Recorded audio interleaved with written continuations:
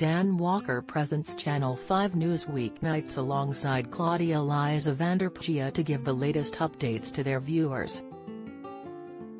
However, tonight Dan will be replaced by Tessa Chapman after suffering injuries to his face following an incident on his bike resulting in a dash to the hospital.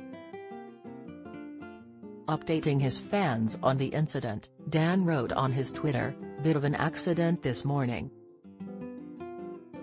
Glad to be alive after getting hit by a car on my bike. Face is a mess but I don't think anything is broken. Thanks to Sean and Jamie for sorting me out and the lovely copper at the scene. This is my, sick, smiling. Thankful for our NHS. His agent told The Times, Walker is now in hospital recovering. It is understood the accident took place when the TV presenter was cycling from his home in Sheffield to the train station, where he was going to the Channel 5 studios in London.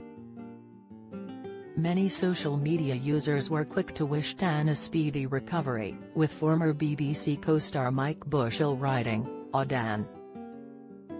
Sorry to hear this. Glad you're in one piece and are going to be okay and in good hands. Speedy recovery.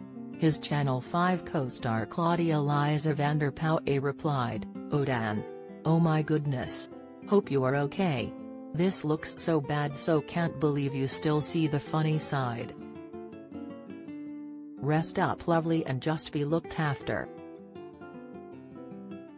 Jeremy Vine wished, Dan, so sorry to hear this. Looks really painful. Hoping for a good recovery. Sending love. Sally Lindsay commented, bloody hell love. Sending healing vibes. User Stella Campbell added, ouch. Hope nothing is broken and you got an apology 20 hashtag NHS. Whilst Jordan Rivera echoed, sorry to see this Dan. Glad it's not any worse, what a horrible thing to happen. Thankful for our NHS for so many reasons, glad we have it there when we need it.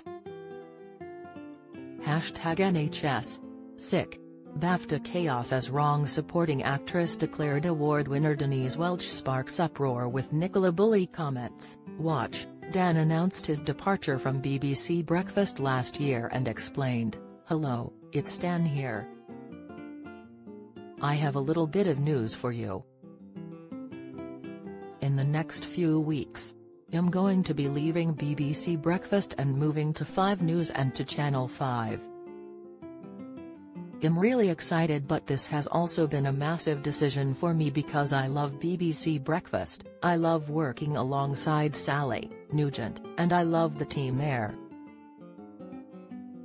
But Channel 5 came with big ambitions with big plans and I don't think opportunities like this come around very often and I can't wait.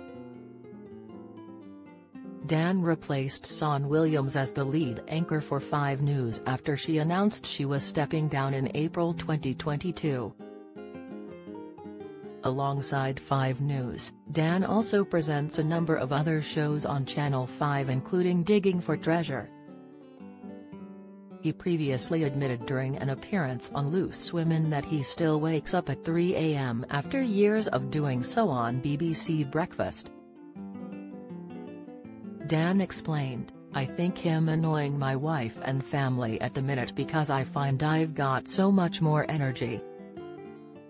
I was cleaning the garage out at 6 o'clock in the morning.